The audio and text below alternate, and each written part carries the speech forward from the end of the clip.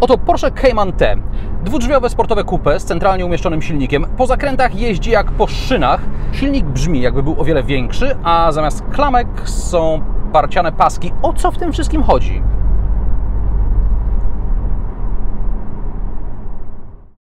Ceny Porsche Cayman zaczynają się tam, gdzie kończą się ceny Alpine A110. To dwa świetne samochody. Który bardziej Ci się podoba? Skonfiguruj swój wymarzony samochód w autokatalogu Samar. Darmowa aplikacja Autokatalog Samar do pobrania ze sklepów Apple i Google. Linki w opisie pod filmem. Zacznę od litery T. Z czym Ci się kojarzy? Z torem? Turbo? Nie. Chodzi o Touring, klasę samochodów turystycznych. Porsche oznacza w ten sposób modele purystyczne, w których skupiono się na przyjemności z jazdy, tak jakby Porsche nie dostarczało wystarczająco dużo przyjemności z jazdy samo z siebie. No dobrze, ale to Porsche, a jeśli jest to Porsche, to musi być jakieś nawiązanie do tradycji, do korzeni. Pierwszy model Porsche, oznaczony T, pojawił się jesienią 1967 roku. Było to 911T i otwierało sportową gamę samochodów, oferując dobry stosunek ceny do osiągów. Jego wyposażenie skupiało się na podstawowych, najważniejszych elementach. 911T zastąpiło model 912. Zarówno tamto 911T, jak i dzisiejsze 718T napędzane jest dwulitrowym silnikiem typu Boxer. Jezu, co to jest 718 i co to jest Boxer? Już wyjaśniam. 718 to nowe określenie modeli Cayman i Boxer, które pojawiło się parę lat temu po faceliftingu. Z kolei 718 nawiązuje do wyścigowego modelu z przełomu lat 50. i 60.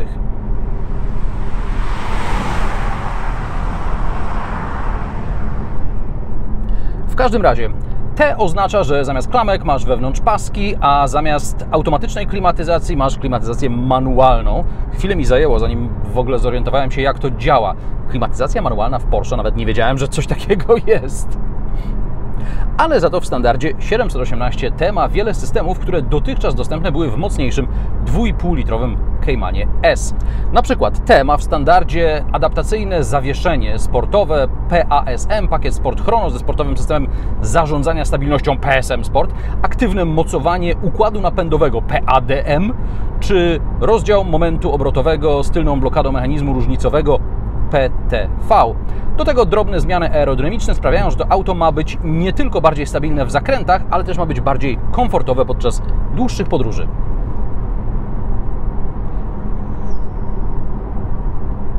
Przejdę do wrażeń z jazdy. W Caymanie T zupełnie nie czuć prędkości, za to czuć szerokość tego samochodu. Być może jest to kwestia wysoko poprowadzonej linii nadwozia i tego, że przez szybę widzę wystające nad kola, błotniki. Do tego silnik na wolnych obrotach brzmi jakby coś mielił, więc podświadomie masz ochotę jechać trochę szybciej, żeby był mniej zmęczony. To znaczy wątpię, żeby była jakakolwiek prędkość, przy której ten silnik się męczy, ale masz ochotę jechać trochę szybciej i zanim się obejrzysz, na liczniku masz prędkość yy, taką, że tracisz prawo jazdy, dostajesz mandat i idziesz do więzienia na dłuższą chwilę.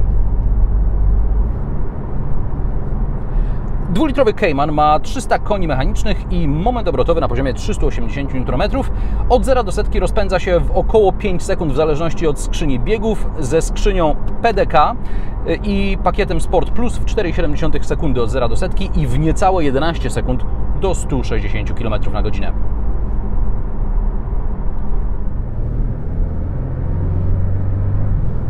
W normalnych okolicznościach silnik jest zdławiony i trzeba mocniej wcisnąć pedał gazu, żeby wywołać e, zmianę biegów, ale częścią pakietu Chrono jest e, pokrętło do zmiany trybów jazdy i przycisk Sport Response, najlepszy przycisk w każdym samochodzie. Naciskasz go i dostajesz 20 sekund wszystkiego, co ten silnik ma do zaoferowania w sam raz do wyprzedzania.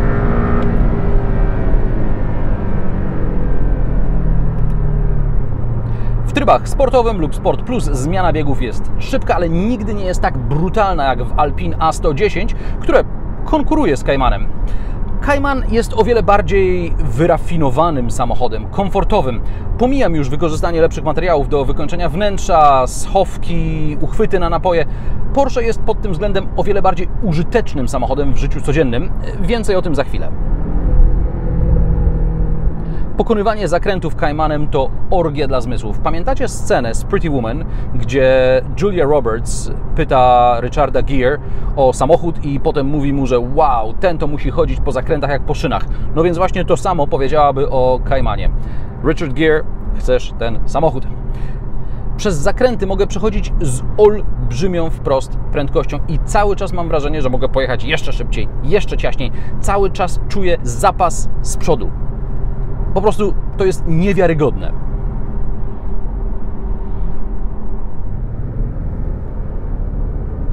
Ale nie daj się zwieść, bo kiedy dodasz gazu, przy wolnym, ale bardzo ciasnym zakręcie Cayman będzie chciał zarzucić tyłem. W normalnych okolicznościach wybroni Cię kontrola trakcji, chyba że ją wyłączysz i wtedy bądź gotowy na szybką kontrę. Sam układ kierowniczy jest czuły, ale nie nerwowy. Porsche w ogóle robi nadzwyczajne samochody, ale gdyby ktoś mnie zapytał, co jest najlepsze w Porsche, to powiedziałbym układ kierowniczy i manualna skrzynia biegów, a tu oczywiście jest PDK. Nie wiem dlaczego Porsche do swoich samochodów prasowych daje PDK. Ja rozumiem, że to jest 15 tysięcy złotych, które można wyciągnąć z klienta, ale kurczę, manualna skrzynia biegów jest tak dobra, szczególnie w takim samochodzie jak Cayman T, który ma być samochodem dla purystów. To nie jest samochód, którym y, ktoś będzie stał w korku w mieście, nie wiem, na placu Trzech Krzyży i tam się pokazywał karspoterom i powiedzmy spali sprzęgło. To jest samochód, którym będzie się jeździło po krętych drogach i tam chciałbym się pobawić manualną zmianą biegów. Przy okazji, niech Ci się nie zdaje, że pozbycie się klamek i automatycznej klimatyzacji sprawia, że Cayman T jest lżejszy od zwykłego Caymana. Te wszystkie dodatkowe systemy sprawiają, że jest o kilkanaście kilogramów cięższy i waży 1455 kg z płynami i kierowcą na pokładzie. To prawie o 300 kg więcej niż Alpine A110. Ale w Alpine zastanawiasz się, czy na pewno jest warte ćwierć miliona. Z kolei w Caymanie zastanawiasz się, jakie opcje jeszcze wybrać. To powiedziawszy, coś w kokpicie skrzypi na nierównościach. Podejrzewam, że jest to coś związane z fotelem e, kierowcy i okej, okay, to jest pewnie kwestia dokręcania jakiejś śruby, ale nie powinno się dziać w samochodzie nowym, szczególnie nie w samochodzie za grubo powyżej ćwierć miliona.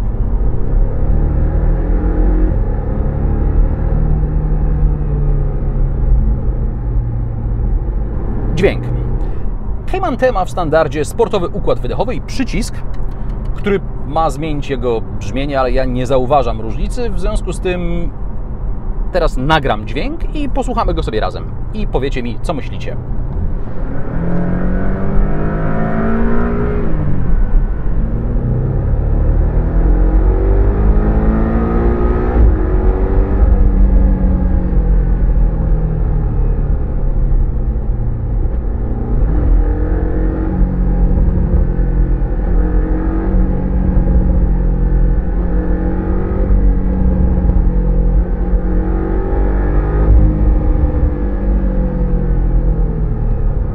Hamulcowy jest bardzo wydajny. Z przodu i z tyłu mamy czterotłoczkowe zaciski, z przodu 330 mm tarcze, z tyłu 299 mm. Opcjonalnie można też wybrać tarcze ceramiczno-kompozytowe z sześciotłoczkowymi zaciskami z przodu, czterotłoczkowymi z tyłu. W standardzie są 20-calowe felgi.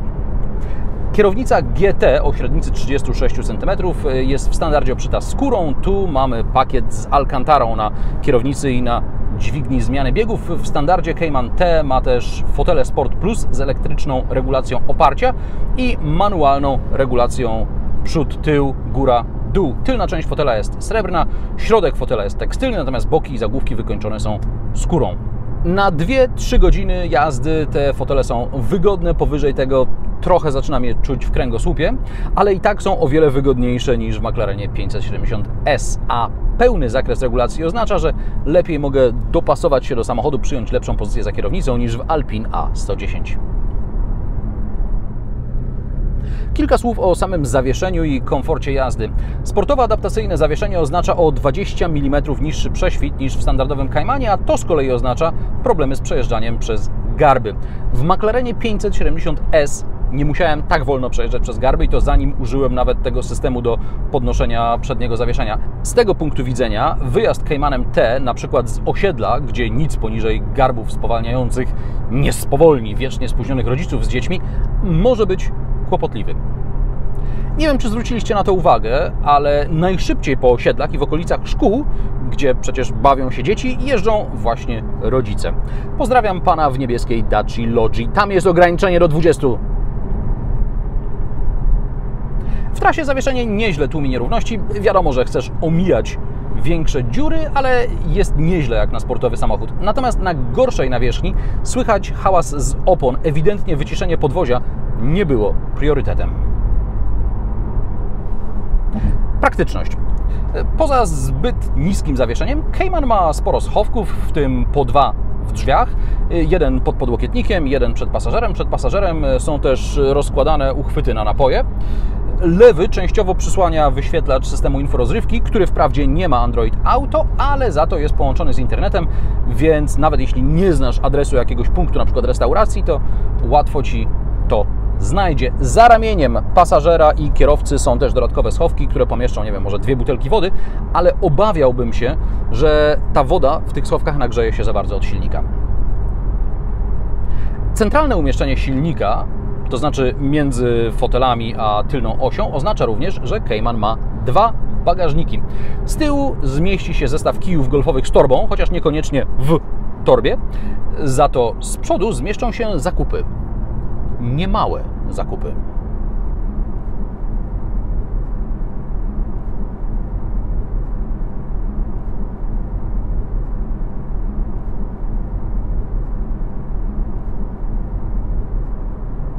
A jak z dostępem do silnika? Mm, sam niewiele zrobisz, najwyżej dolejesz oleju i płynu chłodniczego. Resztę lepiej zostawić serwisowi, chyba że masz duży garaż i dużo wolnego czasu. Gdybym miał się do czegoś przyczepić, to do braku dedykowanych przycisków do obsługi telefonu na kierownicy. Żeby odebrać telefon albo zakończyć rozmowę, trzeba znaleźć wirtualny przycisk gdzieś tu na wyświetlaczu. Ten wirtualny przycisk może być zasłonięty częściowo przez napój w uchwycie. Ewentualnie można to obsługiwać tu na tym wyświetlaczu na zegarach, ale wtedy trzeba bawić się manetką, która jest za kierownicą. Wiem, to są problemy pierwszego świata, ale w tej cenie mam prawo. Wyposażenie. W cenie od 281 tysięcy złotych w standardzie są wszystkie wspomniane systemy wspomagające właściwości jezdne, ale w tym samochodzie jest jeszcze około 80 tysięcy złotych w wyposażeniu dodatkowym. Najdroższe elementy to skrzynia biegów PDK za 14,5 tysiąca, dynamiczne reflektory w technologii LED za prawie 9 tysięcy złotych, pakiet wykończenia wnętrza T za 10 tysięcy, reszta to jakieś kosmetyczne drobiazgi. Natomiast warto dopłacić 533 zł do 64-litrowego baku w miejsce standardowego 54-litrowego. Jadąc oszczędnie, udało mi się zbić zużycie paliwa w trasie do około 9 litrów, natomiast jeżeli jedziesz tak jak tym samochodem powinno się jeździć, to będzie palił 12, 15,